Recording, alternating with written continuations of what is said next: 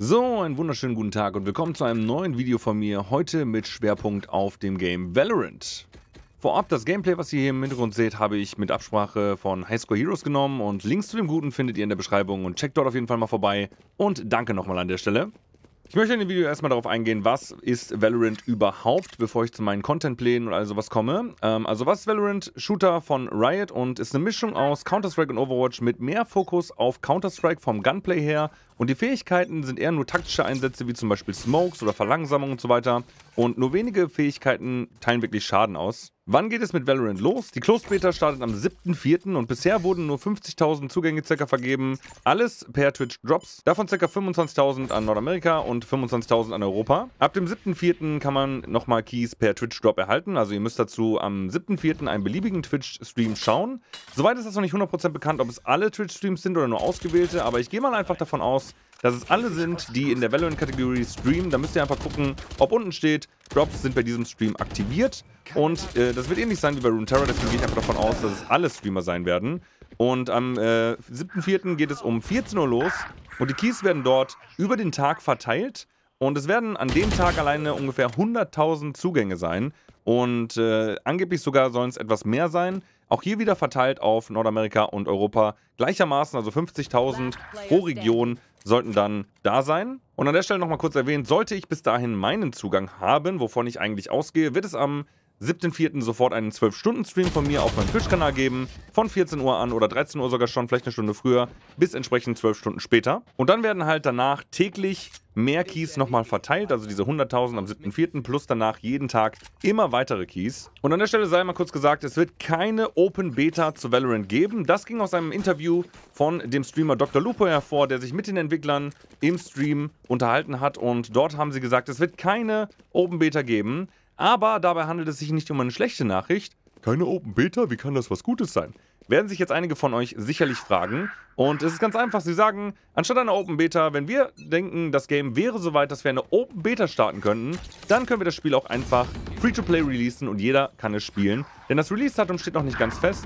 Es stand mal im Raum, ob es der 8.8. ist, aber sie haben nur gesagt, irgendwann im Sommer releasen wir das Spiel. Sie haben sich nicht festgelegt und sobald sie sagen, hey, wir finden das Game ist weit genug, wir könnten diese Open Beta starten quasi. Dann sagen sie einfach, nee, machen wir nicht, sondern wir starten direkt in den Release und launchen das Game. Jetzt kommen wir zu dem Thema, was ist eigentlich mein Plan mit Valorant? Und ähm, ich habe da mal so ein bisschen mir Gedanken zugemacht, was würde ich denn machen, wenn Valorant mir gefällt? Es gibt halt natürlich ein paar Voraussetzungen.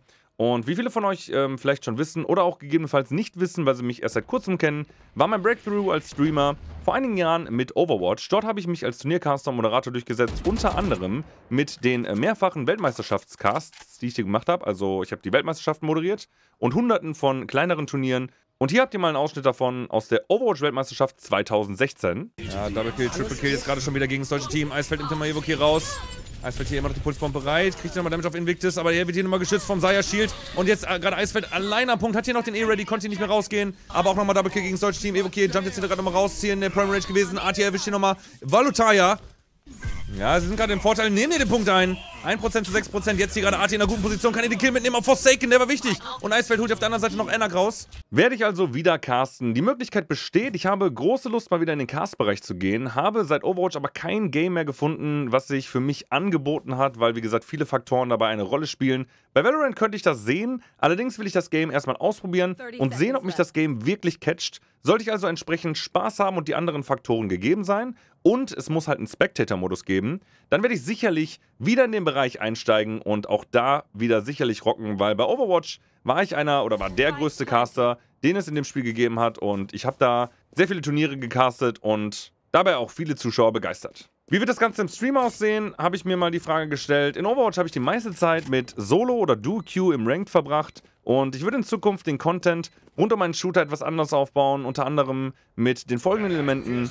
Ich würde natürlich Solo und Duo-Ranked spielen, ich würde aber auch mehr Fokus darauf setzen, Viewer-Games zu machen, vielleicht auch sogar Viewer-Games, wo zwei Teams gegeneinander antreten und ich das Ganze dann caste, wie gesagt, sofern die Möglichkeiten gegeben sind. Dann würde ich auch gerne feste Gruppentage einbauen, in welchen ich mit, meiner, mit einer festen Gruppe spiele, gegebenenfalls auch ein festes Team aus Streamern und separat vielleicht noch eines aus der Community. Verschiedene Challenges würde ich gerne machen, ähm, wo ihr dann vielleicht auch mitwetten könnt, ob ich schaffe, ob ich es nicht schaffe. Irgendwas Lustiges, irgendwas Wonkies, irgendwas Verrücktes vielleicht auch. Dann zum Beispiel sowas wie E-Sport, Talk bzw. Talkrunden über Valorant, sei es Patches, Changes, neue Heroes, Diskussionen, all sowas. Generell den Content einfach abwechslungsreich gestalten, sodass es sich nicht abnutzt und für den Zuschauer, also für euch, auch immer spannend bleibt und interessant bleibt und auch für mich natürlich interessant bleibt, weil ich nicht immer dasselbe mache. Und alles hier genannte natürlich sind erstmal Spekulationen, was meinen geplanten Content angeht. Ich will nur wie immer halt schon darauf vorbereitet sein, davon ausgegangen, dass mir das Game gefällt. Es ist definitiv eine abwechslungsreiche Schedule mit vielen Überraschungen und coolen Formaten. Und hier nochmal abschließend dann auch dazu die Frage noch, welche Art von Videos würdet ihr gerne hier auf YouTube sehen zu Valorant? Was findet ihr interessant? Schreibt es mir gerne mal in die Kommentare, würde mich sehr freuen. Kommt gerne in meinem Twitch-Kanal vorbei und äh, ihr wisst, den Link unten in der Beschreibung, so wie immer. Und wir sehen uns im nächsten Stream oder im nächsten Video, wie ihr möchtet. Ich wünsche euch einen schönen Abend, Tag, whatever Zeit ihr gerade habt und haut rein.